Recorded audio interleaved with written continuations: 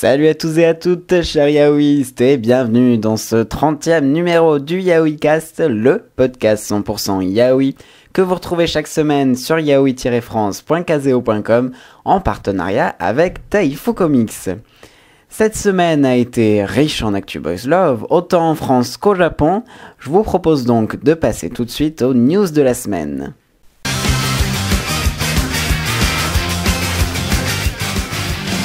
Et on commence avec une très très bonne nouvelle qui nous vient du compte Twitter de Ayano Yamane. Euh, le tant attendu tome 7 de Viewfinder est enfin daté. Il devrait sortir en juin prochain au Japon, soit plus de deux ans après l'apparition du sixième volume. Par ailleurs, toujours sur le site de microblogging, Yamane Sensei a annoncé la sortie du tome 5 de Crimson Spell pour le 25 mars et a révélé qu'il aurait droit à une édition limitée contenant un CD drama qui sera l'adaptation audio du livret bonus du précédent tome. Vous me suivez? Pour suivre l'auteur sur Twitter, son pseudo est at Yamane Ayano. On reste au Japon avec une autre très bonne nouvelle, la reprise d'une série publiée en France chez Taifu Comics, Love Pistols de Tarako Kotobuki. Là aussi, ça fait plus de deux ans et demi que le sixième tome est paru au Japon, on commence donc légitimement à s'inquiéter. Mais donc, aucune inquiétude à avoir, Sex Pistols de son nom en version originale reprendra du service dans le numéro d'avril du magazine B-Boy. Encore une bonne nouvelle du Japon, Tsuta Suzuki reprendra elle aussi sa série My Demon Enemy, mais seulement le temps d'un chapitre spécial qui sera également proposé dans le numéro d'avril du B-Boy. Euh, malheureusement, le magazine français éponyme n'existant plus, on a peu de chance de le voir en français. Mais consolez-vous, il reste encore les deux derniers volumes à découvrir aux éditions Asuka. Retour dans nos contrées avec l'annonce par Quarry du remplacement des tomes 1 de Totally Picking défectueux. En effet, un des chapitres de du premier tome a été imprimé dans le désordre. Euh, l'éditeur propose donc aux acheteurs de leur envoyer un courrier avec la couverture comme preuve d'achat afin de recevoir un nouveau volume neuf bien sûr et sans erreur. Leur adresse est disponible sur le blog de l'émission. Si vous faisiez partie de la centaine d'auditeurs du premier numéro de La Voie lactée, la nouvelle web radio euh, Yaoi, vous saviez que Taifu Comics projetait d'ouvrir un site de vente en ligne de tous ses titres. Eh bien, ce projet a vu le jour jeudi, jour de la Saint-Valentin.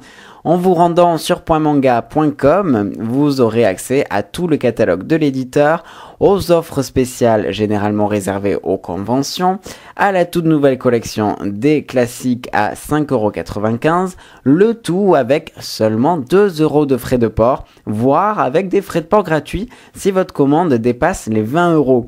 Euh, pour découvrir tout ça, rendez-vous donc dès maintenant sur .manga.com. IDP aussi devait ouvrir son site cette semaine, boys-loves.fr, vendredi pour être précis, mais suite à un contretemps, il ne sera disponible que euh, lundi. En attendant, l'éditeur a ouvert sa fanpage, mettant à disposition les premières pages d'un de leurs titres, Starlike Words de Junko, un récapitulatif des nombreux auteurs qui seront publiés grâce à IDP a également été mis en ligne. Pour vous y rendre, eh bien, euh, vous recherchez Boys Love IDP sur Facebook. Et dans le prochain podcast, vu que le site aura été mis en ligne, on euh, évoquera largement le fonctionnement de ce nouvel éditeur. Petit point sur les nouvelles séries de nos auteurs préférés. Euh, d'abord, parlons de S.M., cette mangaka totalement atypique qui a démarré vendredi Sono Otoko Amato Nitsuki, qu'on pourrait traduire par les hommes tous des gourmands. Et pour cause, puisque ce manga traite de cuisine, plus particulièrement de pâtisserie. Et qui dit cuisine dit la France. Ben oui, le personnage principal s'appelle Jean-Louis et il habite à Paris, comme en témoigne cette vue de la Tour Eiffel dans le premier chapitre. Et justement, ce premier chapitre, vous pouvez le découvrir, tout le monde, oui, en japonais sur le site poco2.jp. Dans un peu plus d'un mois et demi, Shiho Sugiura tournera définitivement la page de Silver Diamond, environ un an après la sortie du dernier volume de cette série, puisqu'elle en démarrera une nouvelle Shuten Unknown avec à nouveau deux personnages principaux masculins et partant à l'aventure. En effet, deux hommes qui se détestent se rendent dans des montagnes à la recherche d'un trésor. Mais un incident imprévisible va venir chambouler leur quête. Alors, nouveau shonanai de 27 tomes ou pas, début de réponse en avril prochain. Et pour finir, le tweet de la semaine nous vient du compte officiel de la série Hetaria, dont la saison 5 a débuté il y a quelques semaines au Japon et aux États-Unis. Euh, et cette nouvelle salve d'épisodes nous réserve bien des surprises, notamment l'arrivée d'un tas de nouveaux personnages venus donc du monde entier, notamment, euh, et c'est l'objet du tweet, le sexy Australia. Pour avoir vu les quatre premiers épisodes de Etalia's Beautiful World, le nom de cette cinquième saison, je peux vous assurer que la série est plus drôle que jamais, donc vivant qu'elle soit disponible en français. Voilà, c'est tout pour ces news, passons aux sorties manga.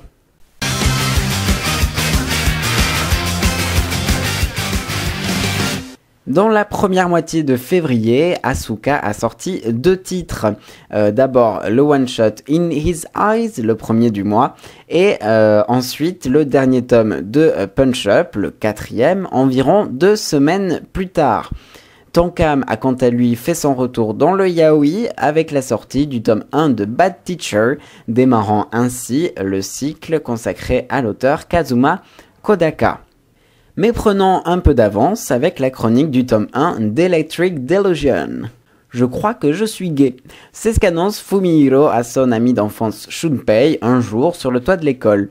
Shun est alors à la fois amusé et paniqué, s'imaginant que Fumi fantasme sur lui depuis des années. Mais Fumi sort en fait déjà avec quelqu'un qui n'est autre que le président du conseil des élèves, un garçon euh, petit et pas forcément très sexy.